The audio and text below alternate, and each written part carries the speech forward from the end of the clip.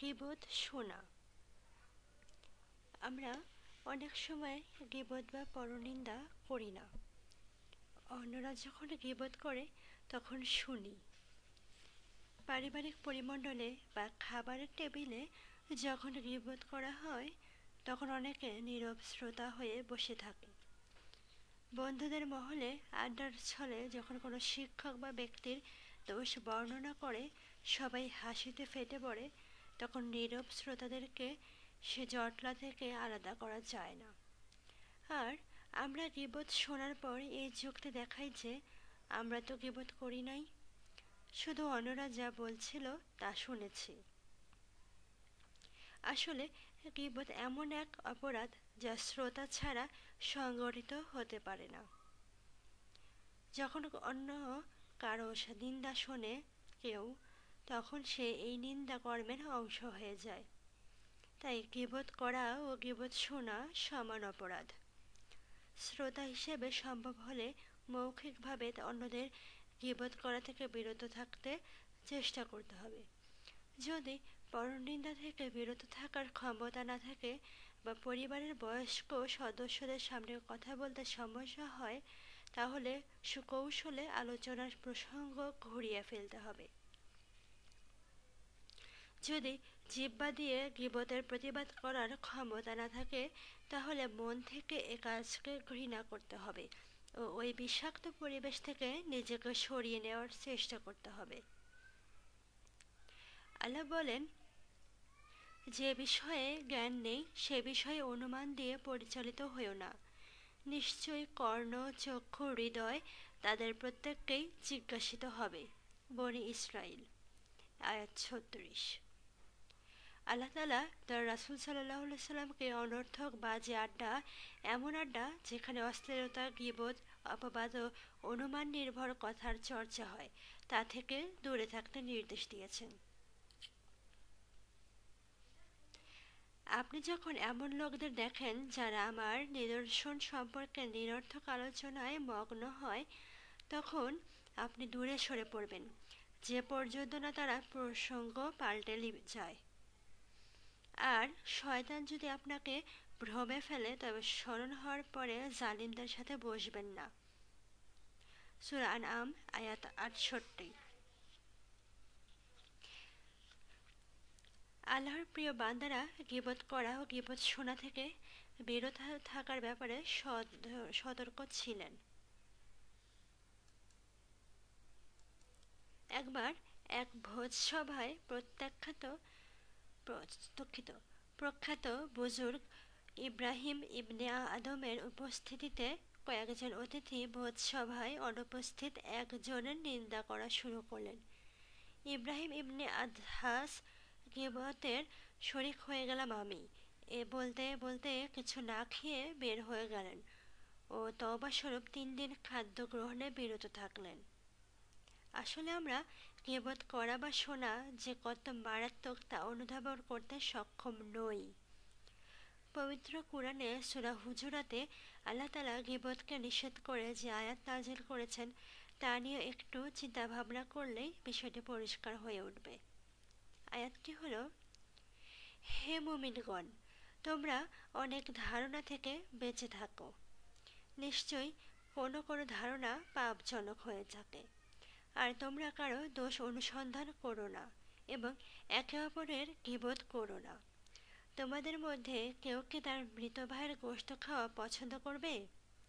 বস্তুত তোমরা অবশ্যই তা ঘৃণা করো। সুরা হুজুরাত, আয়াত তেরো।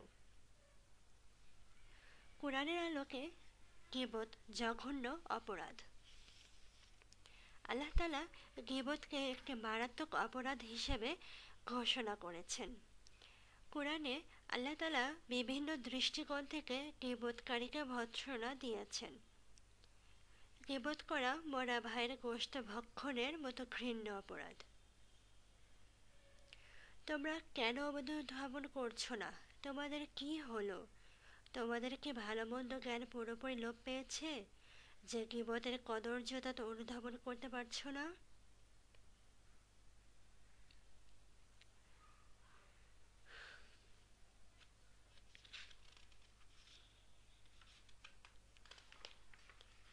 কিবত করা থেকে ব্যবিচারেও মারাত্মক। অর্থাৎ কিবত ব্যবিচারের চেয়েও মারাত্মক।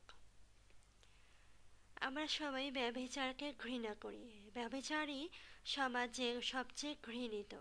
আর যারা আনুষ্ঠানিক ইবাদত যেমন নামাজ, রোজা, তসবিহ, তাহলিল নিয়ে রাত দিন ব্যস্ত থাকেন, তারা কেউই অবৈধ যৌনকর্মে লিপ্ত কোনো ব্যক্তির কথা শুনলে তার চেহারার দিকে তাকাতেও পর্যন্ত লজ্জাবোধ করেন। বাস্তবতা হলো, এই সমাজের অনেকেই নামাজ রোজা করার পাশাপাশি ব্যভিচারের চাইতেও জঘন্য অপরাধ বা গিবত করে বেড়াচ্ছেন। কেননা, আল্লাহর রাসুল গিবতকে ব্যভিচারের চাইতেও মারাত্মক অপরাধ বলেছেন। আবু সাইদ জারির রাদিয়াল্লাহ তালা আনহা হতে বর্ণিত রসুল্লাহ সাল্লাহ সাল্লাম বলেন, গিবত ব্যভিচারের চাইতেও মারাত্মক। সাহাবিরা জিজ্ঞাসা করলেন, হে আল্লাহ রাসুল, এটা কীভাবে সম্ভব? রাসুল্লাহ সাল্লাহ সাল্লাম জবাব দিলেন, যখন একজন মানুষ ব্যবচার করে, তখন আল্লাহ তাকে মাফ করে দিতে পারেন। কিন্তু গিবতের গুণা যতক্ষণ পর্যন্ত মাফ না হবে যতক্ষণ না গিবত দ্বারা ক্ষতিগ্রস্ত মাফ না করে। মিশকাত আল মাসাবি। গিবত সুদের মতো গুণা সুদকে আল্লাহ হারাম করেছেন।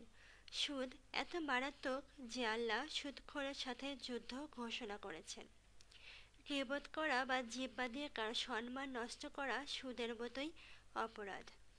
গিবতের মাধ্যমে মানুষের সম্মান ভুলণ্ঠিত হয় আর সুদের মাধ্যমে লণ্ঠিত হয় তার সম্পদ। রাসুল্লাহ সাল্লাহ সাল্লাম বলেন, সবচেয়ে বেশি প্রচলিত সুদ হলো অন্যায্য কথা বলে কোনো মুসলিম ভাইয়ের সম্মান নষ্ট করা। আবু দাউদ।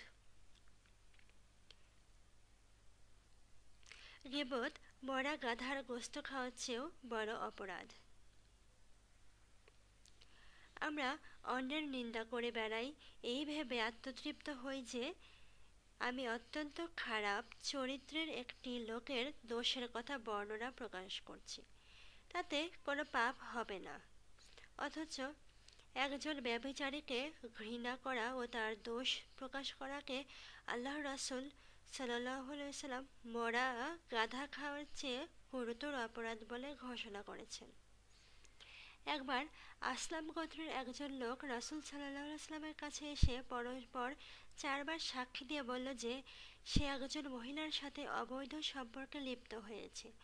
যতবার সে সাক্ষী দিচ্ছিল, ততবারই রাসুল সাল্লাহ সাল্লাম মুখ ফিরিয়ে নিচ্ছিলেন। যখন সে চারবার ব্যবিচারের সাক্ষী দিল, তখন রাসুল্লাহ সাল্লাহ সাল্লাম প্রশ্ন করে নিশ্চিত হলেন যে, বাস্তবেই সে একজন মহিলার সাথে অবৈধ যৌনাচারে লিপ্ত হয়েছেন। এবং তাকে প্রস্তরাঘাতে হত্যা করার নির্দেশ দিলেন। সে যখন মারা গেল, তখন একজন সাহাবি বললেন, দেখো, সে কেমন কুকুরের মতো মৃত্যুবরণ করল। রাসুল সাল্লাহ সাল্লাম তাদের কিছু না বলে হাঁটতে থাকলেন।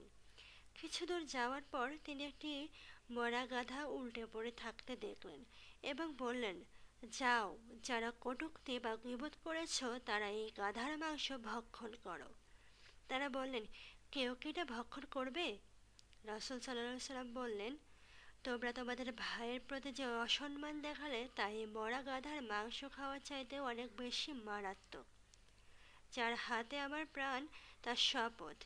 এই ব্যভিচারীকারী এখন জান্নাতের সরোবরে গোসল করছে। সুনান আবু দাউদ। গিবত রাসুল সাল্লাহ সাল্লামের সান্নিধ্য ছিন্নকারী।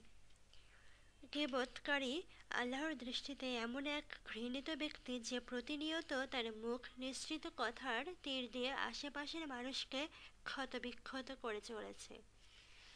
আল্লাহ গিবৎকারীকে মহাপাপী বলেছেন।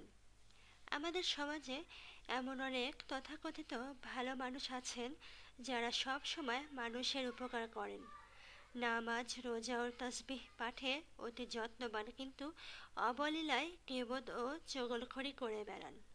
আল্লাহ এই সমস্ত গিবতকারী ধার্মিককে পাপাচারী বলেছেন। অর্থাৎ একজন মানুষ গিবত, চগলখড়ি থেকে মুক্ত না হয়েই যতই ইবাদত বন্দিকেই করুক না কেন, সে আল্লাহর দৃষ্টিতে পাপাচারী ও রাসুল সাল্লাহ সাল্লামের সাফাত থেকে অনেক দূরে। আল্লাহ তার রাসুল সাল্লাহ সাল্লামকে গিবৎকারের সঙ্গ থেকে দূরে থাকতে বলেছেন। রাসুল সাল্লাহ সাল্লামের অনুসারী হিসেবে আমাদের ওই সমস্ত লোকের সঙ্গ থেকে দূরে থাকা উচিত যারা গিবত ও চগলখড়ি করে বেড়ায়। আল্লাহ তালা বলেন, আর তুমি এমন ব্যক্তির অনুসরণ করবে না যে কথায় কথায় কসম খায়, যে হীন প্রকৃতির, যে পশ্চাতে দুর্নাম রটনাকারী ও যে আল্লাহর নির্দেশ অমান্য করে চগলখড়ি করে বেড়ায়। সুরা কালাম, আয়াত দশ থেকে এগারো। গিবতকারী আল্লাহর অভিশপ্ত। গিবত বা কুৎসা রচনাকারী আল্লাহকে আল্লাহ অভিশাপ দিচ্ছেন। যাকে আল্লাহ অভিশাপ দেন, সে যদি রাত দিন নামাজ, রোজার রত থাকে দু হাত খুলে দান করতে থাকে, তাহলে কি মুক্তি পাবে, প্রশান্তি পাবে? আল্লাহর অভিশাপ মাথায় নিয়ে সে কখনো প্রশান্তি ও প্রাচুর্যের সন্ধান পাবে না। হোক তা ইহকালে বা পরকালে। অথচ আমাদের সমাজে এমন পরহেজগার লোক আছেন, যারা প্রতিনিয়ত বিশেষত খাবার টেবিলে ও পারিবারিক পরিমণ্ডলে গিবত করতে ব্যস্ত। অথচ তারা বুঝতে পারছেন না, তাদের মুখ নিঃসৃত কুৎসার কারণে মুখরোচক খাবারের সাথে আল্লাহর অভিশাপ যুক্ত হচ্ছে। তাই যে খাবার তাদের সুস্থ সবল করে তোলার কথা ছিল, সে খাবারই গিবৎকারীকে গ্যাস্ট্রিক, আমাশয়, বদহজম সহ বিভিন্ন অসুখে আক্রান্ত করছে। মানুষের জন্য আল্লাহর রহমতের নিদর্শন খাবারের কণাগুলো পরিণত হচ্ছে আল্লাহর আজাবে সুতরাং ও অসুস্থতা ও অশান্তি তাদের নিত্যসঙ্গী হয়ে যাচ্ছে। আল্লাহর শ্রেষ্ঠ সৃষ্টি মানুষকে সে যে ধর্ম বা বর্ণের হোক না কেন অপমানিত করে শান্তি পাওয়া যাবে না। তাই যে পরিবারে গিবতের প্রচলন থাকে, সে পরিবারে অশান্তি ও অসুস্থতা এত বেশি বৃদ্ধি পায়। দুর্ভোগ ও পশ্চাতে ও যে মুখে, সম্মুখে, জনসম্মুখে লোকের নিন্দা করে তাদের প্রত্যেকের জন্য সুরাহুমাজা এক সত্যিকার মুসলিম নন। আল্লাহ তালা আমাদের সত্যিকার মুসলিম হয়ে, অর্থাৎ সমর্পিত হয়ে মৃত্যুবরণ করতে বলেছেন। হে বিশ্বাসীগণ, আল্লাহকে ভয় করো, যেমন ভয় করা উচিত। তোমরা সত্যিকার মুসলমান, সমর্পিত না হয়ে মৃত্যুবরণ করো না। অর্থাৎ সার্বক্ষণিকভাবে একজন মানুষ স্রষ্টা সচেতন ও মুসলমান সমর্পিত হবার চেষ্টায় রত থাকলেই সে মুসলমান হিসেবে মৃত্যুবরণ করতে পারবে। কেননা, কেউ জানে না কখন তার দুয়ারে মৃত্যু আঘাত হানবে। যখন কেউ কিবত করে, তখন তার নাম মুসলমানের খাতা থেকে মুছে ফেলা হয় এবং সে মুসলমান সমর্পিত হয়ে মৃত্যুবরণ করার সৌভাগ্য থেকে বঞ্চিত হয়। আবদুল্লাহ ইবনে ওমর আদিল্লাহ থেকে বর্ণিত রাসুল সাল্লাহ সাল্লাম বলেন, মুসলমান সেই যার জিব্বা ও হাত থেকে অন্য মুসলমান নিরাপদ থাকে। মুহাজির সেই যে আল্লাহ যা নির্দেশ করেছেন অর্থাৎ যা নিষেধ করেছেন তা থেকে নিজেকে বিরত রাখে। সুনান আন্নাসাই। এখানে জিব্বার কথা প্রথমে বলা হয়েছে। অন্য মুসলমানের সম্মানের উপর আঘাত হাতের চাইতে জিব্বার দ্বারা বেশি হয়। তাই জিব্বাকে প্রথমে উল্লেখ করা হয়েছে। জিব্বার মাধ্যমে প্রথম কেউ গিবত বা অপবাদ দিবার মাধ্যমে যখন কেউ অন্য মুসলমানের যান ও মাল সম্মানের নিরাপত্তা বিঘ্নিত করে, তখন সে প্রকৃত মুসলমান থাকে না। অতএব যারা আল্লাহর সাথে সাক্ষাৎ করতে চান, তাদের অবশ্যই গিবত ও অপবাদ এবং চগলখড়ি করা থেকে বিরত থাকতে হবে। কিবত মুসলমানের পারস্পরিক অধিকার লঙ্ঘন। একজন মুসলমানের ওপর অন্য মুসলমানের সাতটি অধিকার রয়েছে, যা সে আদায় না করলে অবশ্যই অভিযুক্ত হবে। আল্লাহ অন্য মানুষের অধিকার মাফ করে দেন না, যতক্ষণ না সে মাফ করে দেয়। আবু হুরাইরা রাদিল্লাহ হতে বর্ণিত রাসুল্লাহ সাল্লাহ সাল্লাম বলেন, একজন মুসলমানের ওপর অন্য মুসলমানের সাতটি অধিকার রয়েছে। যখন সে তাকে দেখবে, সালাম দেবে, কল্যাণ কামনা করে। যখন সে হাঁচি দেবে, তখন জবাব দেবে। তার উপর রহম করুন, অর্থাৎ তার উপর কল্যাণ কামনা, করুণা করুন, যাতে তার খাবার খাদ্য নালিতে যায়। যখন সে সুস্থ হয়, তখন সে তাকে দেখতে যাবে। যখন সে মারা যায়, তখন তার জানাজায় যাবে। যখন সে অনুপস্থিত থাকে, তার স্বার্থ রক্ষা করবে। মুসনাদে আহমদ। গিবত ব্যক্তিগত সম্মান ভুলুণ্ঠিত করে। গিবতকারী অন্যের দোষ উন্মোচন করতে গিয়ে নিজের সম্মান নষ্ট হবার হাজারো পথ খুলে দেয়। অন্যের দোষ বর্ণনা করার মধ্য দিয়ে শ্রোতাকে সে মানুষের গোপন তথ্য সংরক্ষণ করার ব্যাপারে কতটুকু অবিশ্বস্ত তাই জানিয়ে দেয়। যে আপনার কাছে অন্যের দোষ বর্ণনা করে, সে অবশ্যই আপনার দোষ অন্যের কাছে বর্ণনা করবে। এ ব্যাপারে নিশ্চিত থাকতে পারেন। তাই যে গিবত করে তার কাছে মানুষ তার গোপন তথ্য জানাতে ভয় পায়। গিবতকারীর সাথে মানুষের লৌকিক সম্পর্ক বজায় রাখতে ভয় পায়। এবং তার পাশে এসে মানুষ নিরাপত্তাহীনতায় ভোগে। গিবতকারীর সমাজ সম্মান শূন্যের কোঠায় চলে আসে। আল্লাহ রাসুল সাল্লাহ সাল্লাম বলেছেন, ইবনে ওমার হতে বর্ণিত একদিন মহানবী মিনারে উঠলেন ও উচ্চস্বরে বললেন, হে লোক সকল, তোমরা জিব্বা দিয়ে ইসলাম গ্রহণের ঘোষণা দিয়েছ, কিন্তু বিশ্বাস তোমাদের অন্তরে প্রবেশ করেনি। কোনো মুসলমানকে সমস্যায় ফেলবে না। লজ্জায় ফেলবে না এবং তাদের গোপন বিষয়ের পিছনে ছুটবে না। সত্যিকার অর্থে সে তার ভাইয়ের গোপন বিষয়ে খুঁজতে লেগে যাবে। আল্লাহ তার দোষ খুঁজতে লেগে যাবেন। আর আল্লাহ যার দোষ খুঁজে বের করবেন, সে অপমানিত হবে। সই তিরবেজি ও আবু দাউদ। ইবনে ওমর একদিন কাবার দিকে তাকালেন ও বললেন তুমি কত চমৎকার ও সম্মানিত, কিন্তু বিশ্বাসের সম্মান মর্যাদা তোমার চাইতে শ্রেষ্ঠ। অর্থাৎ যে লোক ইবত করার মাধ্যমে অন্যের দোষ ত্রুটি বের করবে, আল্লাহ যে কোনোভাবে তার দোষ প্রকাশ করে দেবেন এবং সে অসম্মানিত হবে। তাই প্রত্যেকেই নিজের সম্মান রক্ষা করার জন্যই অন্যের দোষ অন্বেষণ ও গিবত করা থেকে বিরত থাকা উচিত। গিবত কবর আজাব বৃদ্ধি করে। গিবতের কারণে মানুষ কবরে মারাত্মক আজাবের সম্মুখীন হয়। হজরত ইয়ালা বিন সাইজ জাজা রাদিয়াল্লাহ হতে বর্ণিত, রাসুল সাল্লাম একটা কবরের গাছ, কবরের কাছ দিয়ে যাচ্ছিলেন, যার অধিবাসীকে আজাব দেওয়া হচ্ছিল। রাসুল সাল্লাহ সাল্লাম বললেন, ওই ব্যক্তি মানুষের গিবত করত। তারপর তিনি একটি কাঁচা ডাল আনতে বললেন। আনা হলো। এটা কবরের উপর পুঁতে দিলেন এবং বললেন, ওই ডালখানা যতক্ষণ বেঁচে থাকবে, ততক্ষণ আশা করা যায় তার কবরের আজাব কিছুটা লাঘব হবে। আহমদ।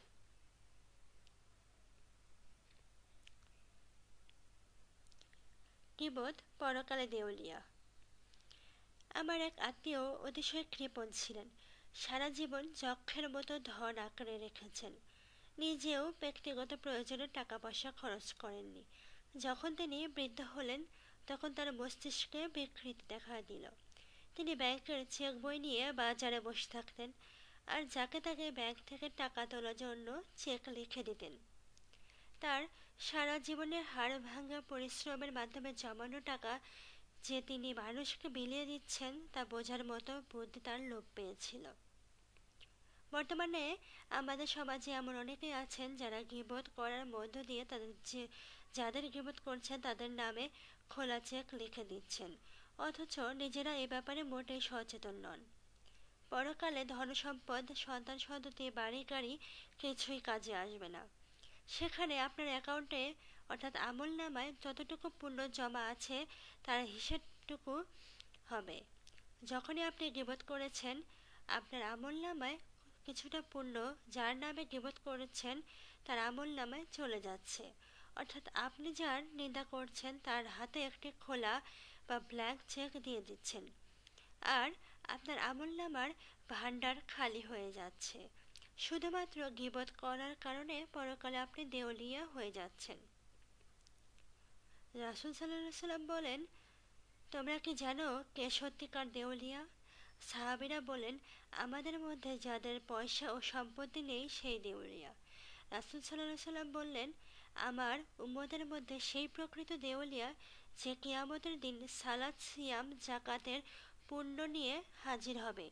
এর সাথে সে কাউকে অভিশাপ দিয়েছে, কাউকে অপবাদ করেছে, কারও সম্পত্তি অন্যায়ভাবে দখল করেছে, কাউকে হত্যা করেছে বা প্রহার করেছে, এমন অপরাধে জড়িত।